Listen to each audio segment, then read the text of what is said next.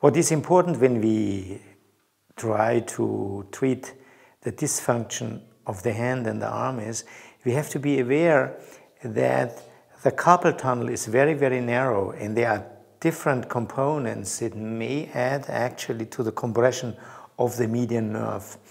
One is the ligamentum flexorum, where all the tendons, flexor tendons travel through.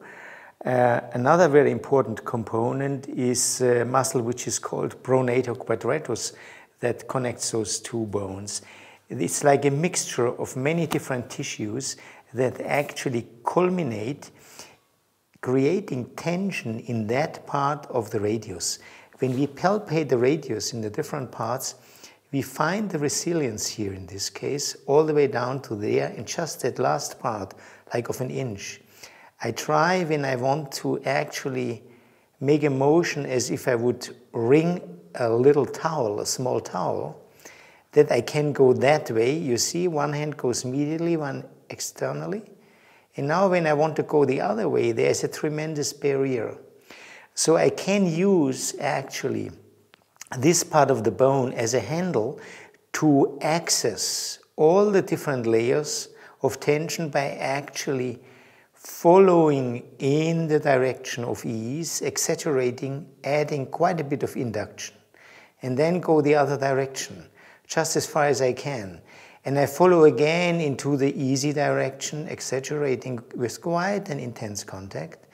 And at the same time, I give a stretch here to the fascia that covers actually the nerve there where it comes out of the tunnels. I'm actually stretching the nerve a little bit at the same time. I repeat, I test now, it's already more easy, I can go in both directions.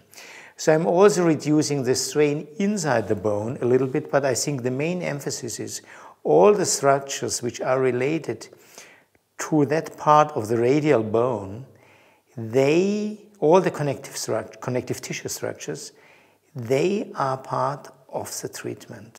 However, we have to check also what the two large bones, the radius and the ulna, are doing in their relationship, in their connectedness concerning the interosseous membrane.